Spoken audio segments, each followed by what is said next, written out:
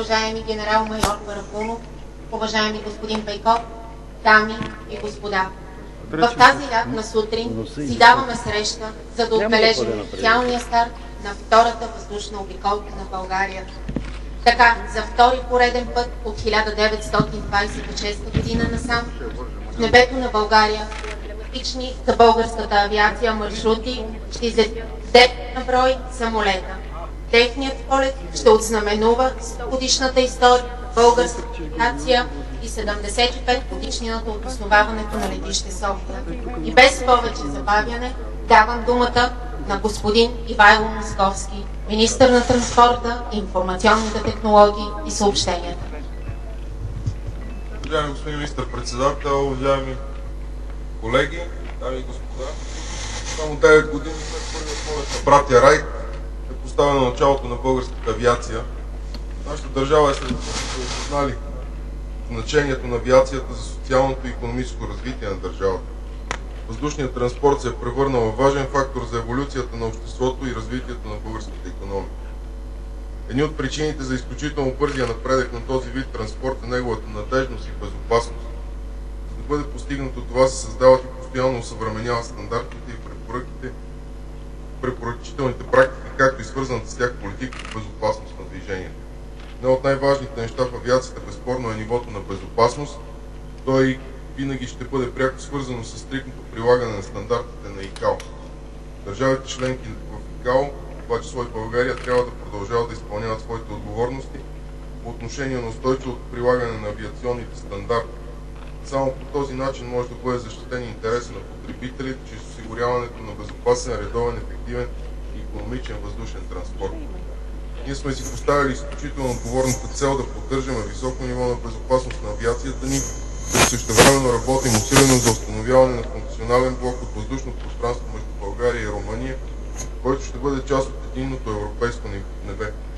С реализирането на този проект се цели повишаване на безопасността, намаляване на разходите, закъсненията и влиянието на въздушния трафик върху околната среда. Срока за установяване на функционални блокове от въздушно пространство на всички страни членки в Европейската, в Европейската общност е 4 декември 2012 година. България работи усилено за изпълнение и реализиране на всички тези задължения, свързани с успешното прилагане на проекта в рамките на поставения срок. Благодаря ви за вниманието и успех! Благодарим, министър.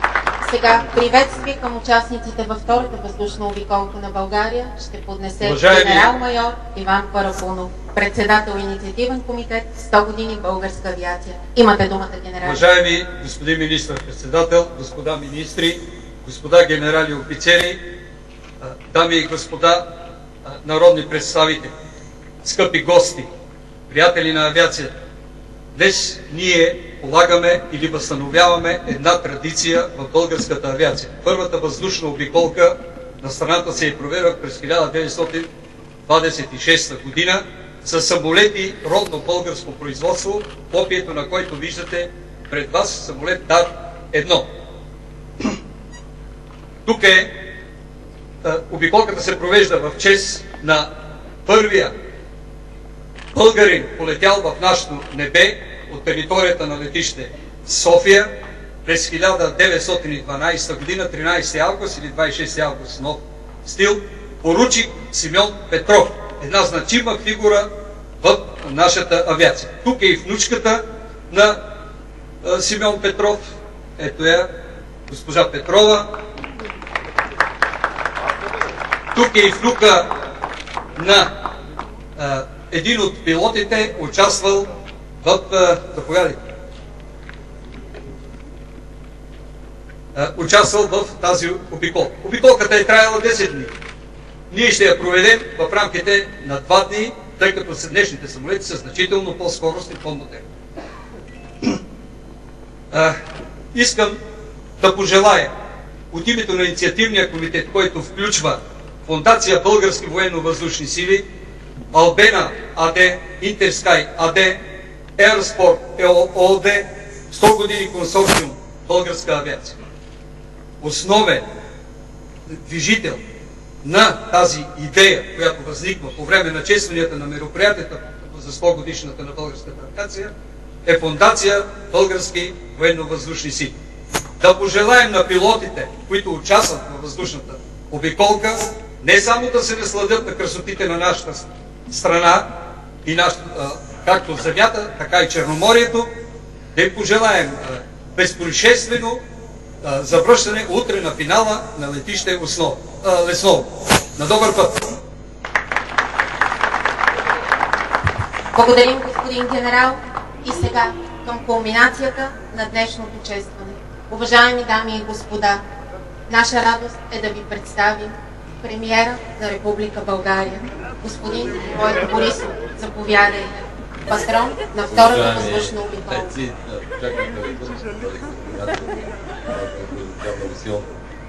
Честит празник, 100 години е действително една хубава юбилейна дата, а и с това самолет, че българското производство, просто виждате технологиите как са се развили в времето. И разбира се, да благодарим на всички, които организираха този празник и желаваме без аварийно да летат. И този наш въздушен аз, който на 63 или 64 години, с Свилен Иванов, виждате колко какъв уникален пилот имаме. Да му пожелаваме и успех и най-вече без аварийно да се проведете празника тези два дни. Желаем действително много успехи. А на вас да ви горда музика на един човек.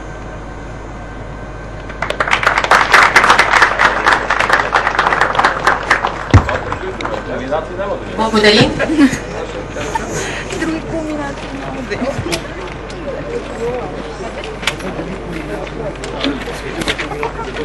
Non, oui, ça peut pas.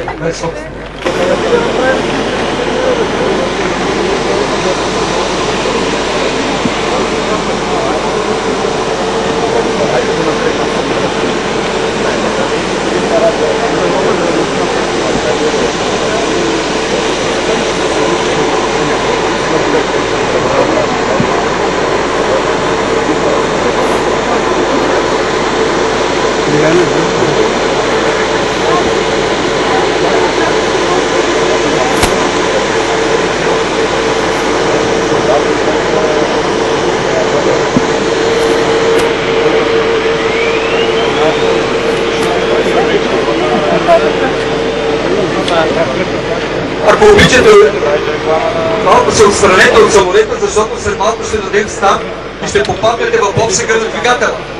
Зад самолета има няма. На 3-4 метра от самолета.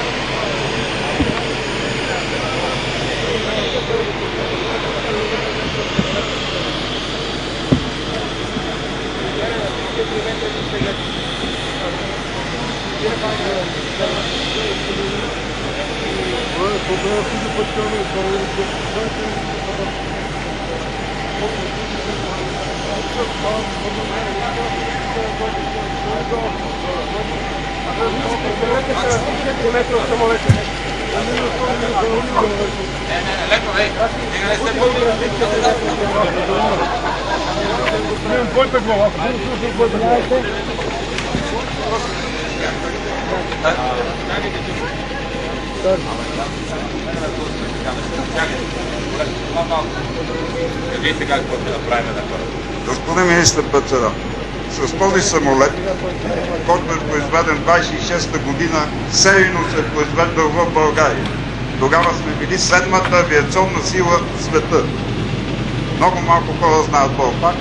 Българска конструкция.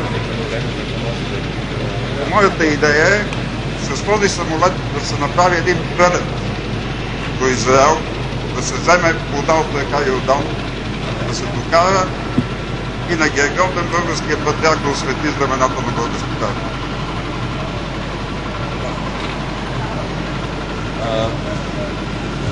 Осигуриме пари от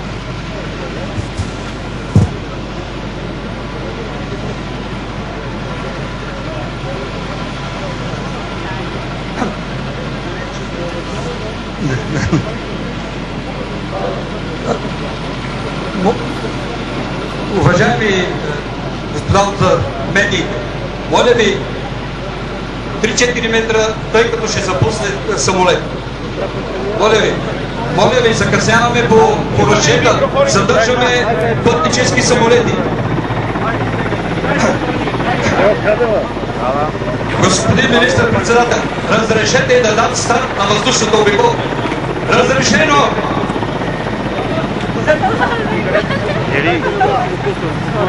Колеги, колеги, колега!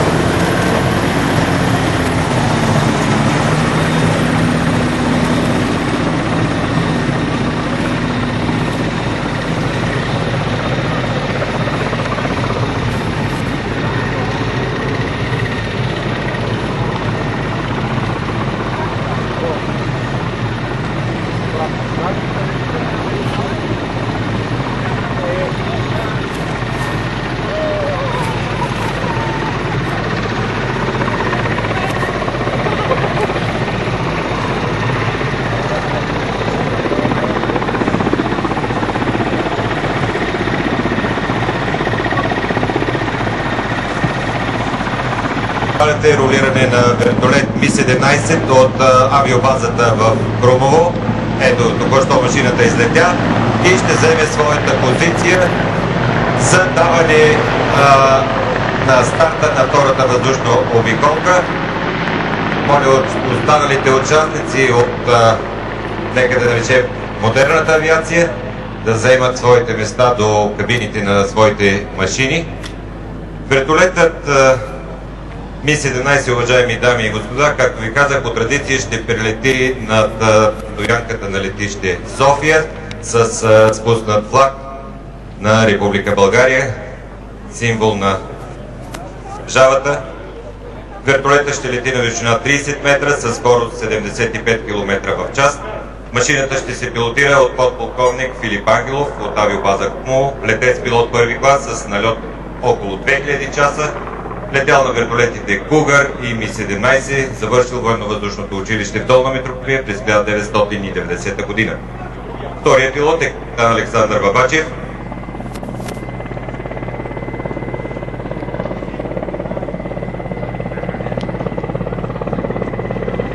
Уважаеми дами и господа, химна на Република България.